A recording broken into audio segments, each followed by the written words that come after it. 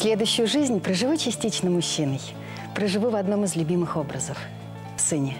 У него настолько мои глаза, вот до дрожи. Представляю. Говорю себе, сможешь не мешать ему, не давать советы. Пусть у мальчика будут свои секреты. Пусть он сам ошибается, только не больно.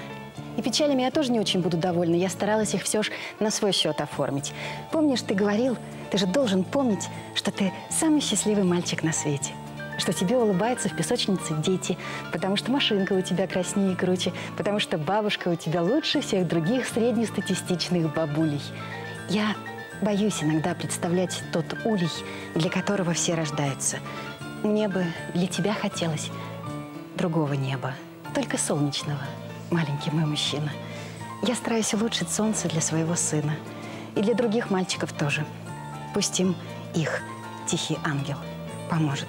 Я, признаться, ничего не понимаю в машинках. Думаю, дело не в них, вообще не в картинках. Но за маленькое сердце твое я спокойно.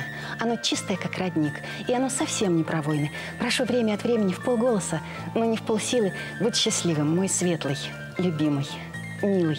Знаешь, я своего сроку нажила всего пару трети, но мне уже повезло. Я так расцвету потом в детях. Не обещаю, но постараюсь быть в новой жизни кроткой.